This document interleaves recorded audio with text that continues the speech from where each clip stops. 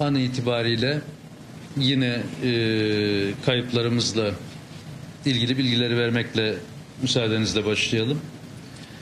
Toplam yine illere girmeden toplamı vereceğim. Sorular olursa detaya gireriz. Toplamda 3419 kaybımız var. Teyit edilmiş bunlar kayıplarımızdır.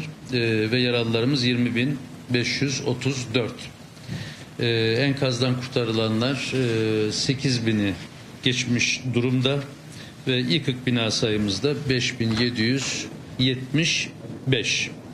Şu ana kadar 312 artçımız mevcut. Bunların e, yine 6 ve üzeri olan 3 e, depremimiz var. 24 depremde 5 ve 6 arasında. E, arama kurtarma boyutundaki çalışmalarımız aralıksız devam ediyor. Tabi burada kış şartları e, sadece bölgedeki e, 10 ilimizle ilgili de değildi bu. Diğer bölgelerdeki çok yoğun e, kış şartları özellikle gece boyunca tipinin de yoğun olduğu bölgeler yolların kapanması bir taraftan afetle mücadele ederken diğer tarafta da hava şartlarıyla mücadele etmemizi de beraberinde getirdi. Özellikle hava araçlarını e, kullanamama gibi helikopterler başta olmak üzere. Dolayısıyla bu sabahtan itibaren de helikopterleri, hava araçlarını biraz daha rahat kullanmaya başladık. E, arama kurtarma sayıları itibariyle bugün şu an itibariyle tüm illerimizde 12.181 arama kurtarma e, personelimiz mevcuttur. E, bunlardan 4060'ı Maraş'ta, 2465'i Hatay'da, 1314 Gaziantep'te, 1721 Adıyaman'da, 687 Osmaniye'de, 119 Adana, 562 Diyarbakır, Şanlıurfa 100, Kilis 41 ve Malatya 1112. Burada özellikle Kilis, Şanlıurfa ve Diyarbakır'daki çalışmalar oldukça başarılı şekilde e, yürütüldü. E, bu illerimizdeki durumlar oldukça e, iyi durumdadır. Diğer illerle alakalı yine bu arama kurtarma çerçevesinde e, 239 sağlıkla ilgili 946 ambulans, 239 UMKE timi ve e, yine ambulans uçaklar ve ayrıca 1947 UMKE personeliyle toplam 4785 de sağlık personelimiz görev yapmaktadır sahada. Toplam sahada fiilen çalışan personel sayımız 24.443'tür an itibari ile.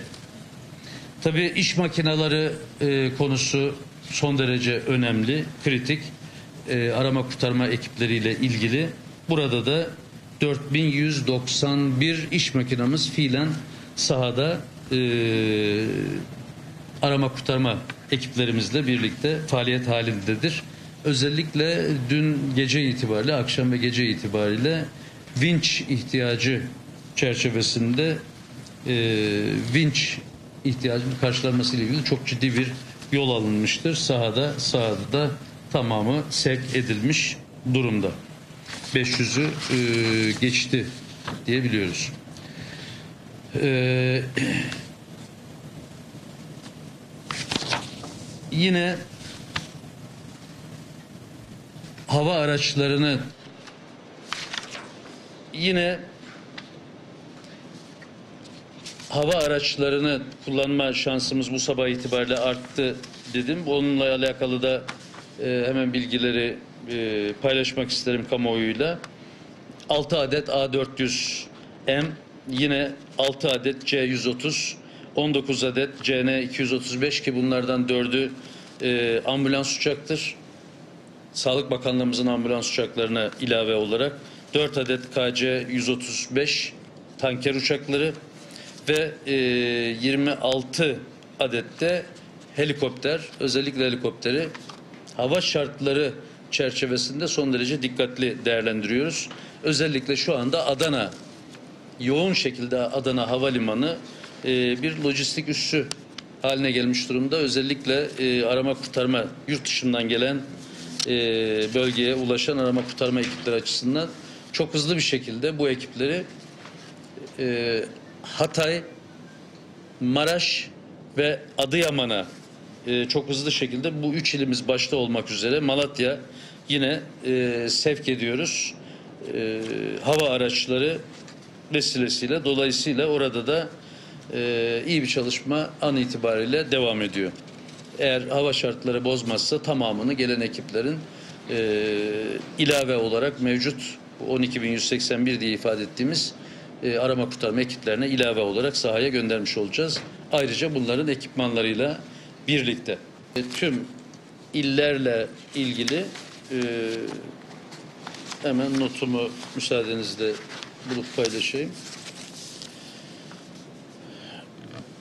Maraş 530 kaybımız, e, yaralı 2900, e, Hatay e, 872 kaybımız ve 2766 yaralımız, e, Osmaniye 293 kaybımız, 1315 yaralımız, Adıyaman 720 e, kaybımız, 400 yaralımız, Diyarbakır 92 kaybımız, 770 yaralımız, ee, Şanlıurfa 95 kaybımız, 1791 yaralımız.